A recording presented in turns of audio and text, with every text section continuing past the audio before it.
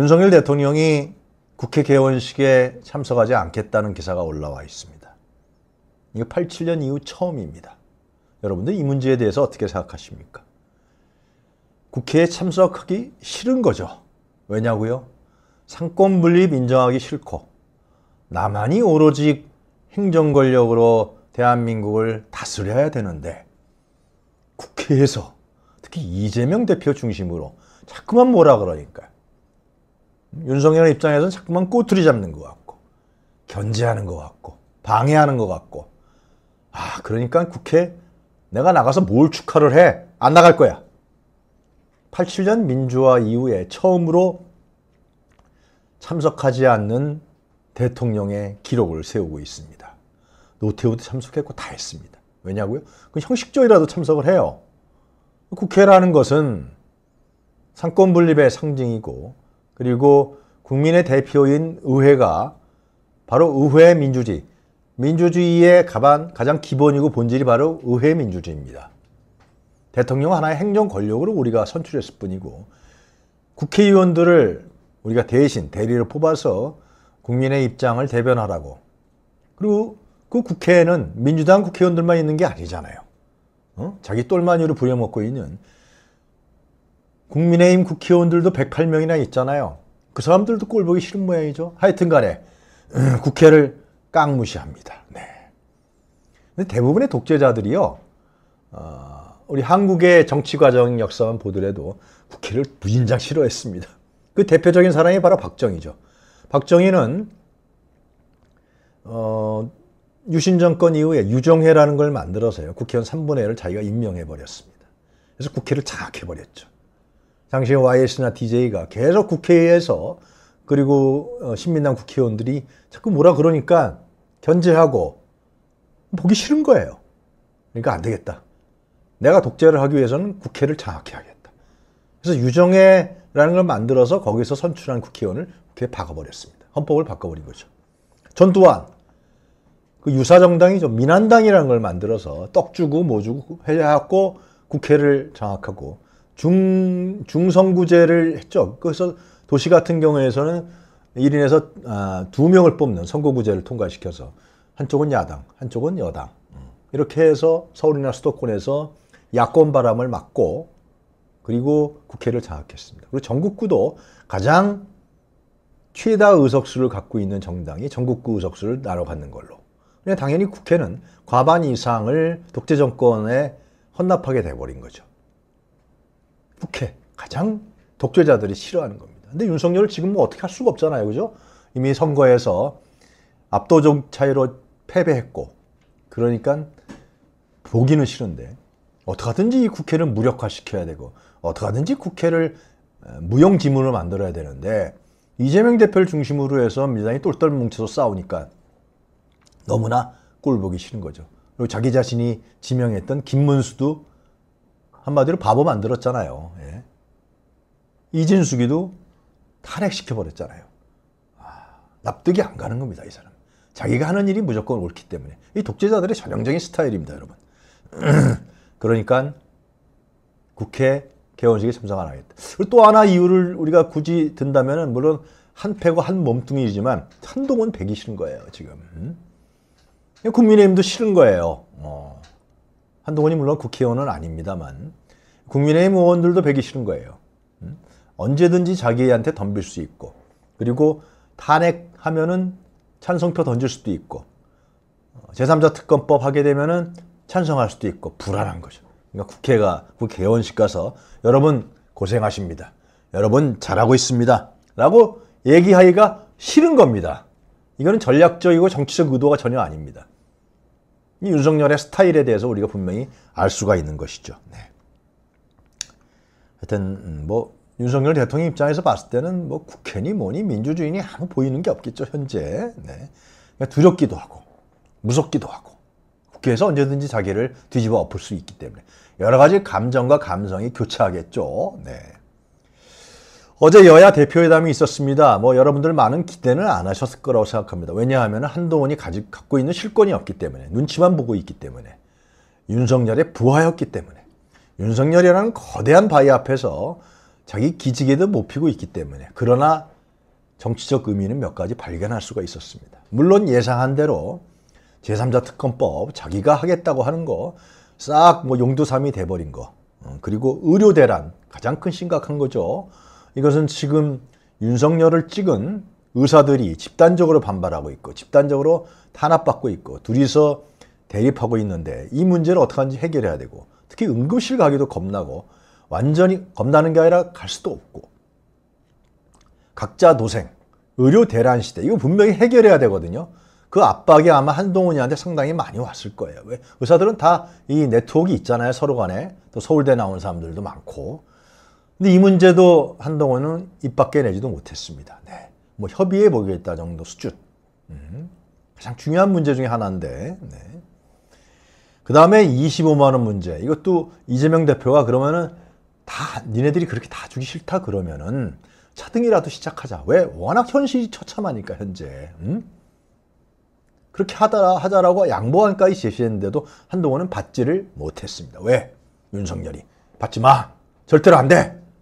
현금 살포라고 거짓말도 하고 있어요. 현금 살포가 아니죠. 이것은 석 달인가 넉 달 만에 써야 되는 그동안에 안 쓰면은 희요가 없어져 버리는 지역 화폐로 지급하자는 것인데요. 그래서 중소 영세 상인들 조금이라도 좀 살리고 그리고 힘들게 사는 우리 국민들 조금이라도 좀 쓸 수 있게 그러면서 국내 소비가 요만큼이라도 좀 진작될 수 있는 최소한의 방안인데 이거 세 개를 다 한동훈은 받지도 못했습니다.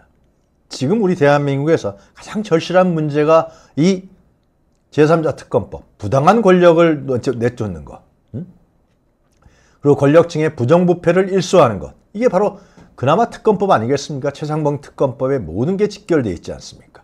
그 카르텔들이 운집해 있는 곳이 바로 지금 최상병 사건이고 박정원 대령의 외압 사건입니다. 그 다음에 의료 대란. 국민 건강과 생명 안전에 대한 문제입니다. 음? 이것은 결국은 자기를 지지했던 의사들과 그리고 미안합니다만 70대 이상의 우리 어르신들 이 가장 절박한 문제 중에 하나가 응급실 문제입니다. 그리고 수술에 대한 문제. 의료 혜택, 의료 복지 서비스에 대한 문제인데 이것도 없애버려요. 아예. 25만 원 문제 최소한의 것인데 이것도 받지 마라. 한동훈 너 받으면은 너 말이야 지금 너 수사하고 있는 거 알지? 한동훈 지금 수사하고 있다지 않습니까? 응? 너 옥죄일 거야. 까불지 말아라. 그러니까 한동훈 받을 수가 없었습니다. 그러나 이재명 대표가 왜 이런 상황을 모르겠습니까? 알면서 한동훈을 만났다. 뭐 일각에서는 한동훈을 대권 주자로 키워주는 거 아니냐. 한동훈은 어차피 대권 주자감이 안 되죠. 대권 주자였다면 이 문제, 의료 대란 문제를 치고 나갔겠죠. 새 가슴인 사람입니다. 그러나 하여튼 최소한 윤석열 대통령이 혼자서 독주하는 문제는 조금이라도 좀 막아보자. 한동훈이 참여를 시켜갖고 그리고 네가 대권 주자 좀 빛나려고 하는 거 아니야? 그걸 싹 거머쥐어갖고 어떤 여야 대표담을 어제 열었습니다. 아, 우리가 윤석열 대통령을 탄핵이라는 제도적 법률적으로 끌어내리기 위해서는 여권의 표가 분산돼야 됩니다. 분열돼야 됩니다. 108표에서 한 10표만 10표만 이탈하면 윤석열은 아웃입니다. 그 점에 대해서 이제 시동을 거는 것이다. 이렇게 여러분들이 어제 여야 대표회담을 이해해 주시면 될 것 같습니다. 물론 실망도 많이 했고, 아유, 왜 만났어? 그 말이야, 그, 어?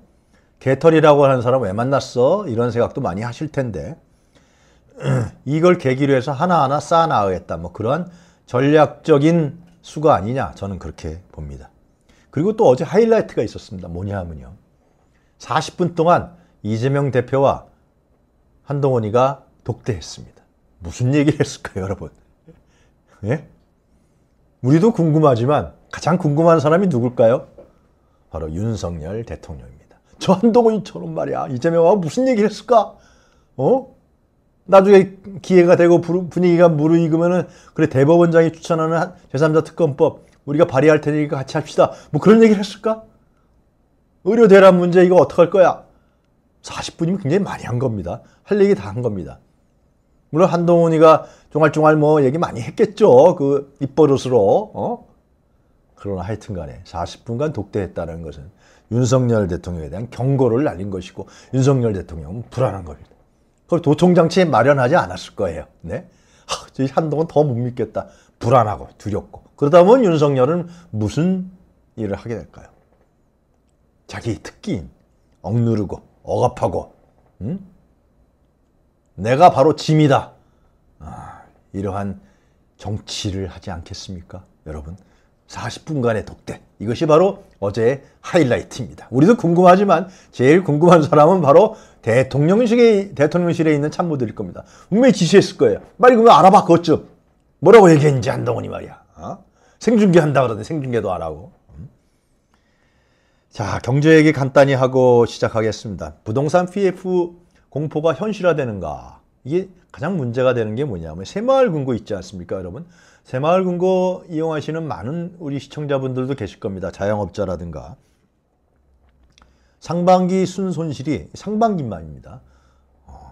1조 어, 2천억이나 됐다. 어마어마한 숫자입니다. 네. 금융기관이요. 창립 이후에 최대 적자라 그럽니다.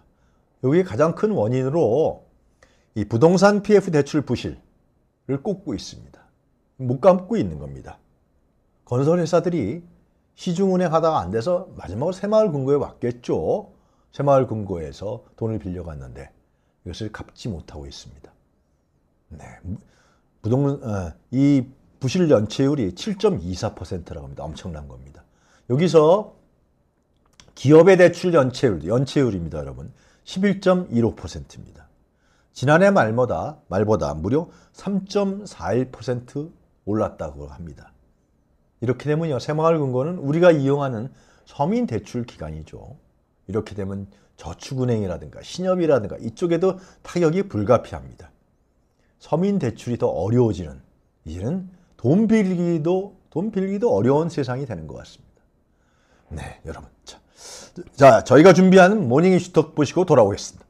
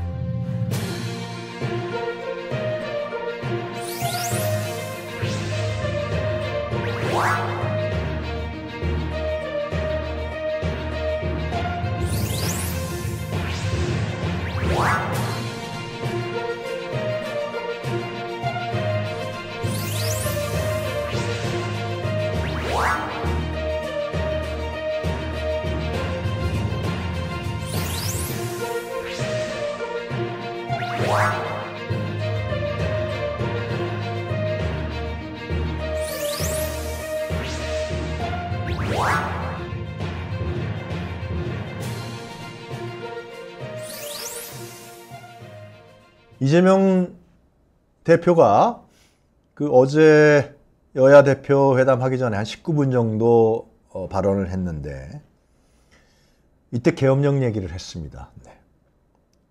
자, 이재명 대표에게까지 계엄령 얘기할 정도면 계엄령을 상당히 쟤네들이 많이 검토하고 있는 것들이 나타나는 모양입니다.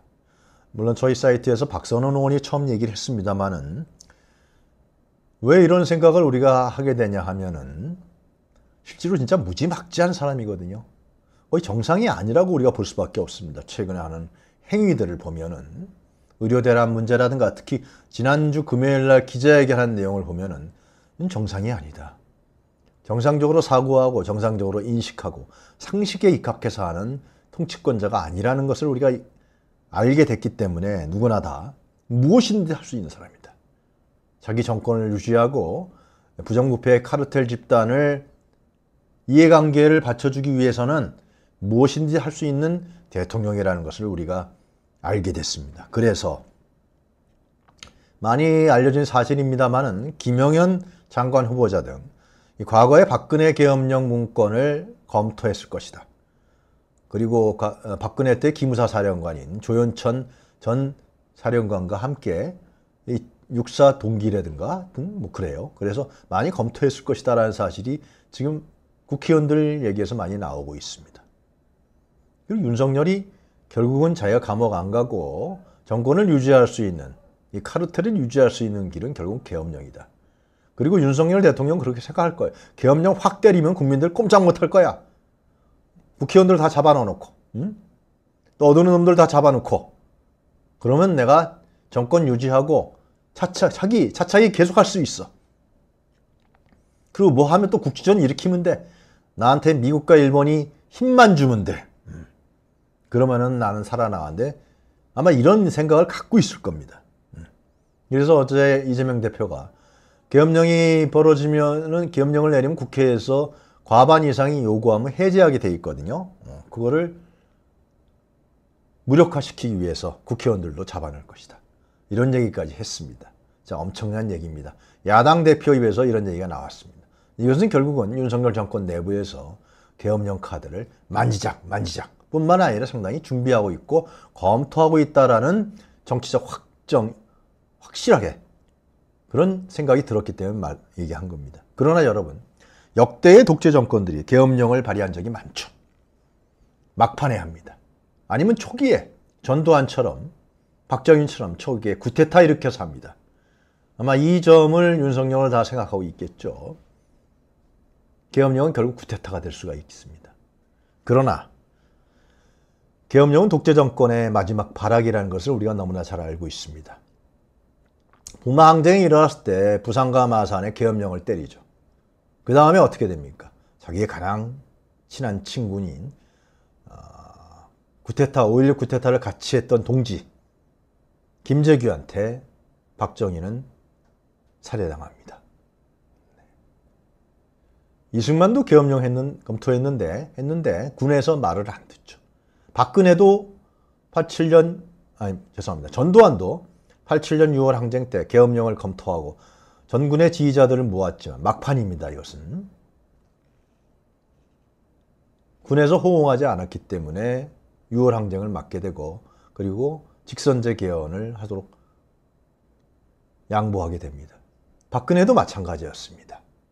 헌재에서 탄핵이 기각되면은 계엄령을 때리자. 그래서 기무사령관 중심으로 아주 디테일한 자세한 계엄령 준비 문건을 작성합니다. 준비한 것이죠. 그러나 탄핵은 인용되면서 인용되면서 박근혜는 계엄령 해보- 해보지도 못하고 나라 정권에서 권력에서 내려와 버리게 됩니다. 근데 걱정이 되는 것은 아마 이재명 대표도 그렇습니다만 계엄령이 발표되면은 특히 용산 중심으로 해서 국방부와 합참 다 있지 않습니까? 국민 항쟁이 일어나고 들고 일어나게 되면 이들은 자위권이다 그래서 유혈 사태가 발생할 수도 있다라는 걱정인 것이죠. 제2의 광주 민주화 운동이 발생할 수 있기 때문에 그게 걱정이 되니까 이재명 대표가 얘기했을 겁니다. 니네들 계엄령 같은 거 생각하지 말아라. 조용히 내려오든지 어? 국회에서 탄핵할 테니까 그만두든지 하여튼 어, 앞으로 가을 전국이 상당히 요동칠 것이다라는 것을 우리가 짐작할 수가 있습니다. 이 점에 대해서 우리가 어떻게 계엄령을 막을 것이고 그리고 여권을 분열시켜서 국민적 압박으로 우리가 명예혁명을 만들어낼 것이냐 이 점이 가장 큰 관건이 되지 않을까 생각합니다. 아침부터 주말 이후에 여러분들 아침 이후에 또 제가 네. 자, 이재명 어제 대표가 얘기했던 계엄령 문제에 대한 동영상 잠깐 보시겠습니다. 어, 특히 최근에 계엄 얘기가 자꾸 얘기되고 있고 종전에 만들어졌던 계엄 안에 보면 계엄 해제를 국회가 요구하는 것을 막기 위해서 국회의원들 계엄 선포와 동시에 체포 구금하겠다라는 그런 계획을 꾸몄다는 얘기도 있습니다. 이거 완벽한 독재국가 아닙니까? 예, 이런 문제에 대해서도 우리가 오히려 더 심각하게 고민해야 된다. 예, 정치적 공세가 아니라 국가와 국민 예, 그리고 이 나라의 미래를 위해서 합리적이고 모두가 동의할 수 있는 안들을 만들어야 된다고 생각합니다. 물론 합의가 심치 않습니다. 저는 그 중에서도 예, 합의되는 실현 가능한 것부터 먼저 하자 이런 입장을 언제나 가지고 있- 있고 그래서 정치 개혁과 관련해서는 우리 한동훈 대표께서도 공개적으로 약속하셨던 지구당 부활 문제만이라도 우선적으로 좀 처리됐으면 좋겠다 그 생각이 듭니다. 예, 정치에서 말은 정말로 중요하죠. 네, 또 하나 윤석열 대통령이 이제 물불 가리지 않겠다라는 것을 우리가 보이는 것이 바로 문재인 전 대통령에 대한 압박이고 또 그 딸에 대한 압수수색입니다. 네. 박지원 원장도 얘기했습니다마는 이것을 검찰총장 시켜주고 끝까지 검찰총장직을 지켜줬던 문재인도 집어넣겠다 그러는 거 아닙니까? 그 딸에 대한 압수수색 영장에 피의자를 문재인으로 적시했다고 합니다. 이것을 우리나라 속담으로 배은망덕이라고 얘기하고요. 그리고 이거는 정치 보복입니다. 좀 웃기잖아요. 여러분들 기사 안 보셨겠지만 아니 뭐 이상식이라는 사람을 중소벤처기업진흥공단 이사장으로 앉힌 게 이게 대가성이다. 문재인 전 대통령의 사의를 취업시켜주기 위한 것으로 한 것이다. 라는 우리가 일반적으로 상식적으로 생각하는 납득이 안 가는 문제로 압박하고 있습니다. 제 눈에 보이는 것이 없는 것 같습니다. 누가요? 어, 누군지 여러분들이 잘 아실 겁니다. 자, 이러면서 이- 지난주에 또 여러분들이 아, 이거 이 뉴스 보고서 어, 내 생각이 맞구나. 라고 하셨던, 하셨을 뉴스가 바로 윤석열 지지율의 23% 기록입니다. 그래도 가장 어, 나름대로 권위 있고 신뢰할 수 있는 한국 갤럽 조사에서 나온 것입니다. 23%. 네. 이 여론조사 수치는 왜 중요하냐면요. 제 주변에도 다 물어봅니다. 자, 야 윤석열 지지율 떨어졌다며? 다 이런 거 물어봐요. 내가 생각했을 때는 이거 떨어지고 도저히 말도 안 되는 사람인데 어? 어떻게 해서 이렇게 했지?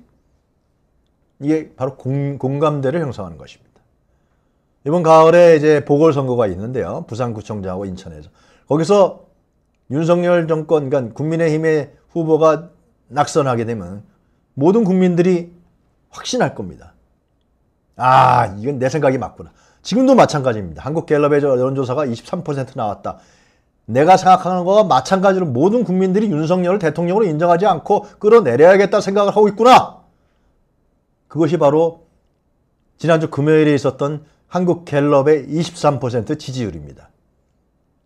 물론 하여튼 지금 제 옆에 표가 나옵니다만은 윤석열은 지금 역대 이래 그리고 뭐 총선 이후부터 해서 20%를 벗어나지 못하고 있습니다. 이 외에도 어, 지난주에 우리가 했었던 어, 뭡니까 저기 음, 대통령 직무평가 여론조사 이 세 개 기관 한국갤럽, MBS 여론조사권 여기서도 27, 27, 26이 나왔습니다. 근데 한국 갤럽에서 이번 주에 23으로 내려갔습니다. 4%입니다. 자, 오늘 내일 아마 리얼미터 여론조사가 있을 것 같은데요.